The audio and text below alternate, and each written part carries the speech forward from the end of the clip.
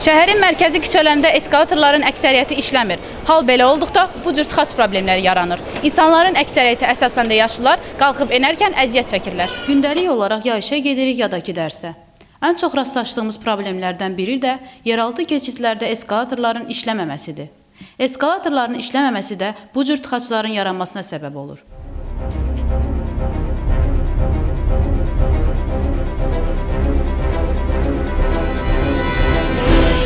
Elə çəkiliş apardığımız zaman da şahidi olduq ki, gənclərdən çox əziyyət çəkən yaşlı insanlardır.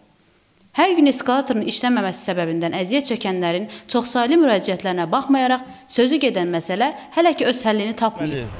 Bunu mən dəfələrlə şikayət eləmişəm, zəng eləmişəm onlara.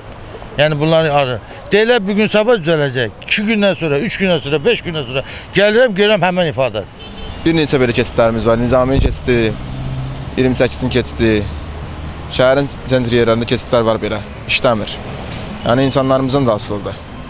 Elələri var özləri basır knovkanı işləmir, millətimiz əziyyət çəkir. Aidiyyatı məsələ ilə bağlı Azəravtoyol Açıq Səhmdar Cəmiyyətinin mətbuat xidmətinin rəhbəri Anar Nəcəfli ilə əlaqə saxladıq.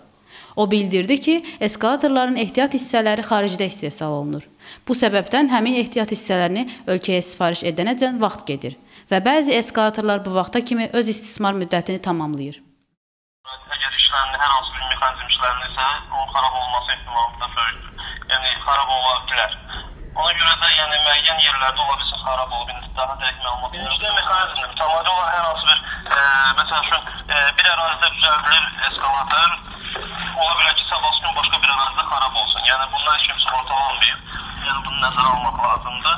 Amma ki, yəni harda xarab olursa, qısa müddət ərzində çalışılır ki, aradan qaldırılsın. Ümid edirik ki, çox yaxın bir zamanda bu məsələ öz həllini tapar.